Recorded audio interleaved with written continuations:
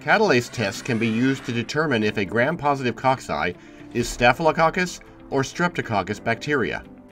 These organisms will appear dark blue in the gram stain. Staphylococci and Streptococci are both round in shape, known as cocci. Streptococci form a chain of round cells because their division occurs in one linear direction, whereas Staphylococci divide in various directions, forming grape-like clusters. The easiest way to differentiate between Staphylococcus and Streptococcus is the catalase test. Staphylococci are catalase positive, whereas Streptococci are catalase negative.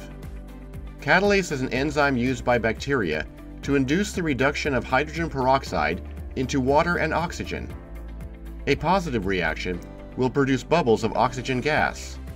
In order to perform a catalase test, you will need 3% hydrogen peroxide, a pipette, glass slides, permanent marker, Staphylococcus bacteria, Streptococcus bacteria, and inoculating loops.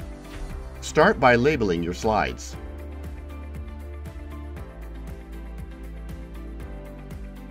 Using your sterile inoculating loop, touch an isolated Staphylococcus colony, then smear the organism on a clean glass slide in one even layer.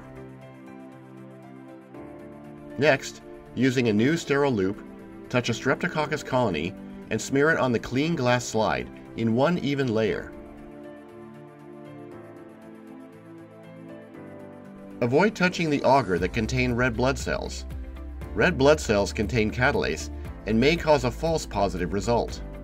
Using a dropper or pipette, release 2 to 3 drops of 3% hydrogen peroxide onto the Streptococcus slide without mixing.